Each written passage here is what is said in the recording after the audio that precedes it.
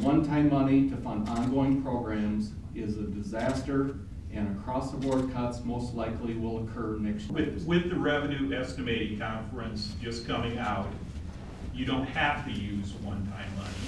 You can use ongoing money to do this. And, and to poor mouth this and say. I'm not poor mouthing it, You know. because I've got family and I've got friends, friends in the education community. Right. So don't say But you that know, that's an you know, incorrect statement. you know, at one And I'm not going to once. take that. You know. Julie Stoic. I've been a member of League of Women Voters for many, many years. My husband and I moved here in 1976. And I've always been so impressed with our representation from this area to Des Moines.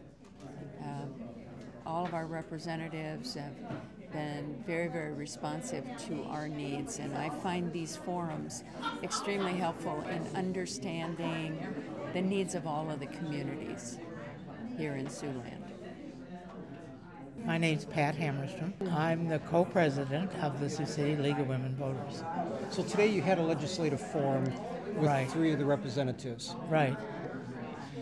The purpose or the intent of the forum?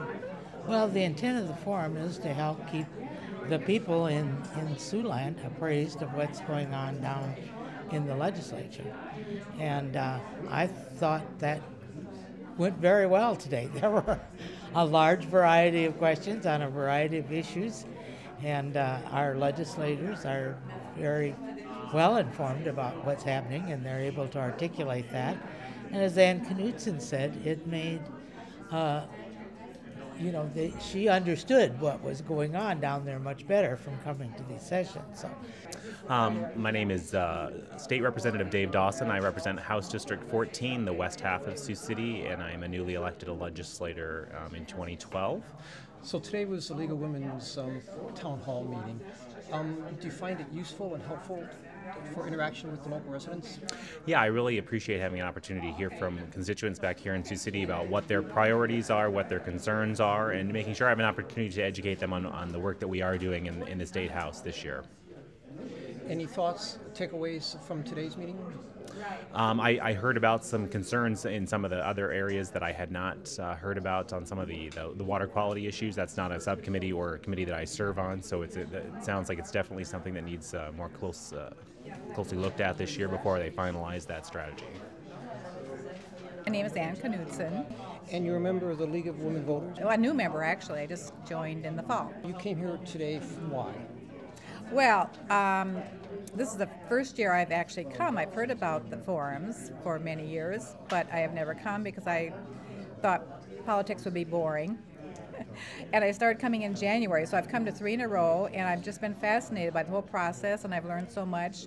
Um, really learned about the challenges that our our legislators have in terms of budget constraints and things like that. So I've learned um, and respected better, I think, what they are going through in terms of coming up with appropriate legislation for for us as, as their constituents. And I'm really impressed with the the ones that we have representing us locally. They're doing a good job. In position? Sure. Uh, Chris Hall, State Representative for House District 13, which is Sioux City and Concord Township. These forums that the League of Women Voters hold every so often, do you find them helpful to connect with the, uh, the local residents? I find it extremely helpful and for a variety of different reasons. Uh, the people who typically attend these forums are well informed and also very interested in what's happening in the legislature. And so it ends up being a two way conversation.